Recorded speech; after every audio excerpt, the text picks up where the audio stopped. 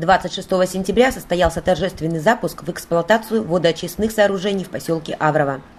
Необходимость данного объекта существовала на протяжении многих лет, и в 2020 году благодаря национальному проекту «Чистая вода» Леноблводоканал произвело установку и монтаж оборудования. Станция настраивается по показателям исходной воды, поступающей на очистку из реки Сязь. При необходимости ее работа оперативно корректируется. Все режимы работы станции автоматизированы. Теперь питьевая вода в поселке соответствует всем санитарным нормам. Работу Леноблу водоканала в этом году, в этом году в Волховском районе я оцениваю на отлично, потому что действительно мы э, все обещания, которые нам давали, и, в общем-то, эти обещания уже просто переросли в инвестиционную программу, которую мы совместно с водоканалом прорабатываем и, в общем-то, согласовываем все действия. И на сегодняшний день все эти, э, все эти программы и все эти сроки, они выполняются. Мы, сегодня, мы буквально две недели назад здесь были и видели, в каком состоянии находилось это место, этот участок, который был выбран специально под установку этой водоочистной станции. И сегодня мы пустили ее в пусконаладку.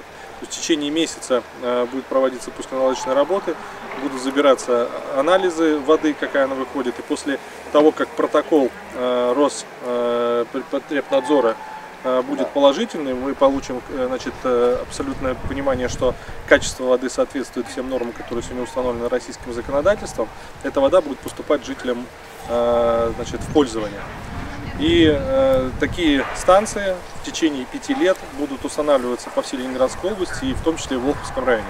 Мы с вами все прекрасно знаем, неоднократно про это говорил, что согласно рейтингу Роспотребнадзора у нас в районе самая плохая вода.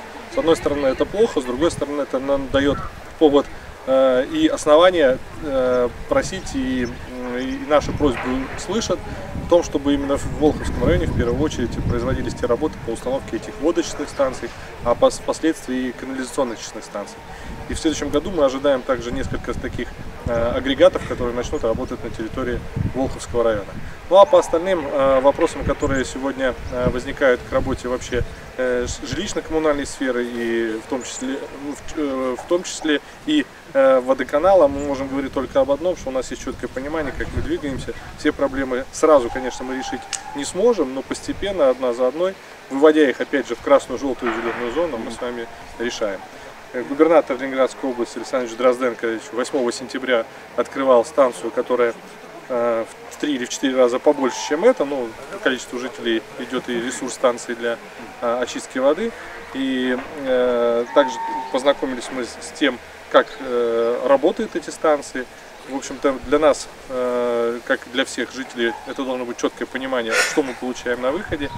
Абсолютно открытая позиция. Пожалуйста, приходим, смотрим нужны протоколы по, э, по анализу этой воды, значит, они будут предоставлены любому жителю по первому требованию. Такие станции в ближайшие годы будут устанавливаться по всей Ленинградской области, в том числе и в Волховском районе. Я согласен с Алексеем Викторовичем. Во-первых, оценку надо будет произвести, где они более необходимы, но то, что не менее трех-четырех станций водоочистки в следующем году будет установлено по Волховскому району, это однозначно на сегодняшний день. И плюс ко всему, кроме станции водоочистки, будут еще ставиться станции по очистке стоков.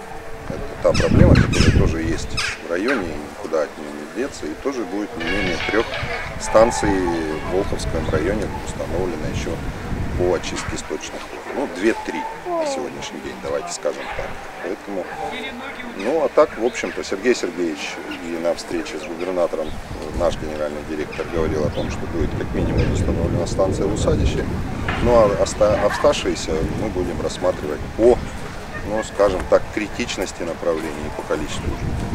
Владимир Ищенко прокомментировал ситуацию в городе Сестрой в связи с жалобами граждан на грязную холодную воду, поступающую в квартиры многоквартирных домов, расположенных на территории города. Мы делаем отбор проб в самых различных, в принципе, местах сейчас. И по точкам разбора, и по входящих э, точках в домах, и в самих квартирах. Самое удивительное, что в некоторых домах, стоящих на одной сети, Вода отличная, даже по анализам, по пробам. В соседнем доме, которая то, та же сеть, наша же сеть, вода ну, чуть меньшего качества, ну, худшего качества. Хотя она не выходит там за пределы норм, да, но на сегодняшний день мы предпринимаем меры и по промывке сетей, плюс работаем с поставщиком воды, э, это комбинатом, потому что ну, все-таки исходная вода оттуда. Поэтому я думаю, в ближайшие дни эта проблема тоже решится. Возможно, связано с аварийностью сетей, возможно, с заменой каких-то труб на ЦБК. Ну, надо будет проверять, смотреть. Ну, я думаю, этот вопрос решится. За два года Леноблводоканал установит в Ленинградской области более 100 аналогичных станций. Работы пройдут в том числе и в 2021 году, который в регионе станет годом чистой воды.